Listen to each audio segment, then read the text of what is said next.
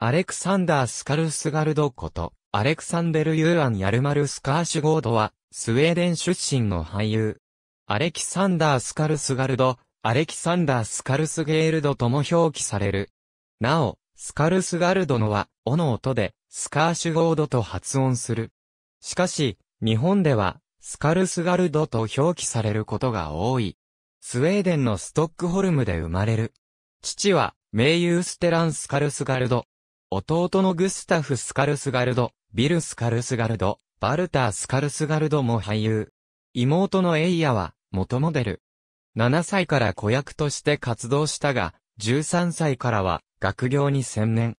兵役を終えると、イギリスとアメリカで演技を学んだ。スウェーデンに帰国後、芸能活動を再開。2000年、映画、ホワイトウォーターフューリーで、弟のビルと共演。インタビューで、当時のビルに対する、個人的なエピソードを語っている。2003年、映画、ツーキル、A チャイルドで、監督と脚本を務める。ビョルヌ・ラーセンと共に、オーデンセ国際映画祭のグランプリとプレス賞を受賞。ちなみに、本作の主演は、弟のボルターで、語り部を、父のステランが務めている。2009年、米ドラマ、トゥルーブラッドで、スクリーム賞の最優秀悪役賞を受賞。また、他の出演者と共に、サテライトショーのスペシャルアチーブメントアワードを受賞。同年、レディー・ガガが歌う、パパラッチのミュージックビデオに出演。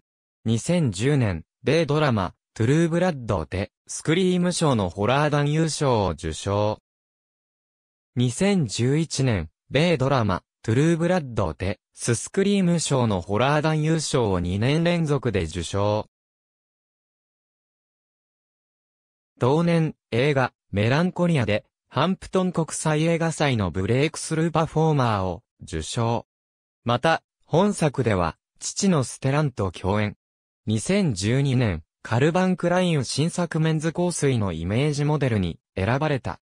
同年、A、グラマー氏が毎年発表するセクシーな男性トップ50で第14位にランクイン。2014年、昨年12月に参加した負傷して退役した英国陸軍の元兵士たちを支援するチャリティレース、ウォーキングウィズ・ザ・ウンデッドで撮影された写真を友人のインスタグラムを通して全世界に発信し話題となった。2017年、米ドラマビッグ・リトル・ライズで第69回プライムタイムエミー賞の助演団優勝。第75回ゴールデングローブ賞助演男優賞を受賞。また、本作は、アレクサンダーの受賞を含めて、同部門で5冠を達成。さらに、ゴールドダービー賞でも、助演男優賞を受賞。映画、ツーキル、A チャイルド監督、脚本ミュージックビデオパパラッチマイナスボーイフレンド。ありがとうございます。